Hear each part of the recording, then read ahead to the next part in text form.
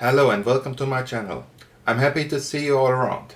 Today on the Digital Blackmagic channel I'm going to show you how to upgrade a UniFi Cloud Key by Ubiquiti. The UniFi Cloud Key is a little computer that centralizes the infrastructure of the UniFi network. It runs the controller software that controls all the switches and access points, as well as the routings and firewalls. It is possible to run the controller software on any other device, but the UniFi Cloud Key is designed to do just that. I will show you how to upgrade the Cloud Key to the latest firmware.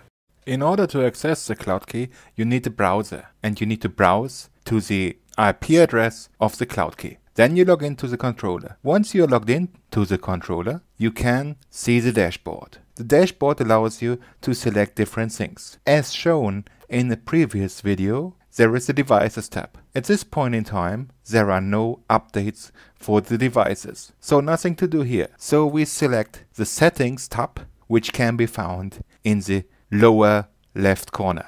Within the settings, you can find maintenance. The maintenance tab offers updates for the cloud key and the controller itself.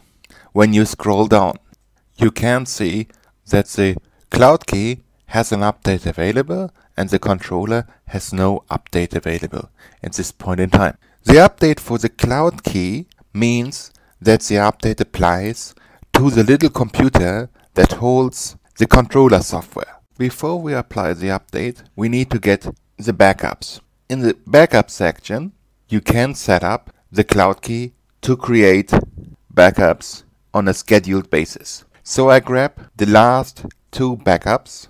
In case the update fails, I need to have the backup to restore the current state. Switching back over to the maintenance, we scroll down to the updates.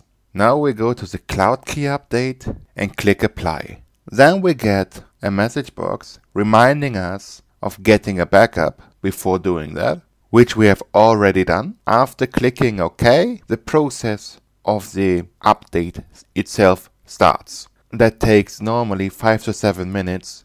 All what happens is the status of the current update, like download, apply, restart, changes, and nothing else. After the update is installed, the cloud key resets and you need to re-log in. I double check if the update is installed and there is no further update for the update. This is the end of the video. I hope you liked it. You may leave a thumbs up and subscribe to my channel if you want to see more of these videos. I thank you again for joining me on this video and I'm looking forward to my next video. Have a nice day.